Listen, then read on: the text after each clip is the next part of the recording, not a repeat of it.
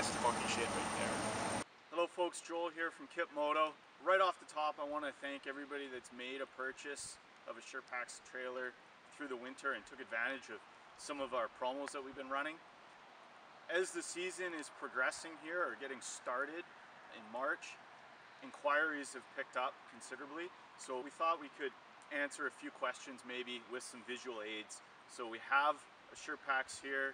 We have my Husqvarna 701 here. And one of the questions that we always get is how does it connect? And what modifications do I need to do to my bike to put a SherpaX trailer behind it?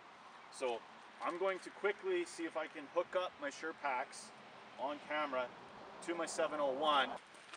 One of the nice things, I got my gear loaded, but right now I can handle the trailer that's only 30 pounds without having an extra body holding it up or a kickstand or, you know, it's not loaded.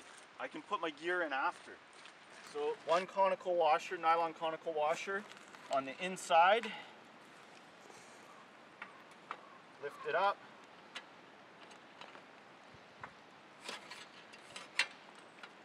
Slide the skewer through. Go around to the other side with your other conical washer.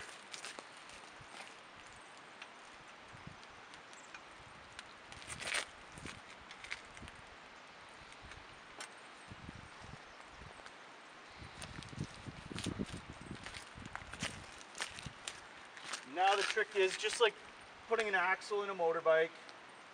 Anybody who's changed tires will know it takes a second to get it lined up. Tighten that down and then put your safety pin in there.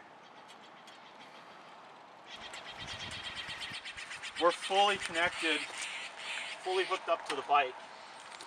And now you can take your camping gear, whatever you have loaded in your action packer, packed in your house or hotel or whatever, drop it in there, strap it down. I don't know that you could load a motorcycle with 60 pounds of gear any faster any other way.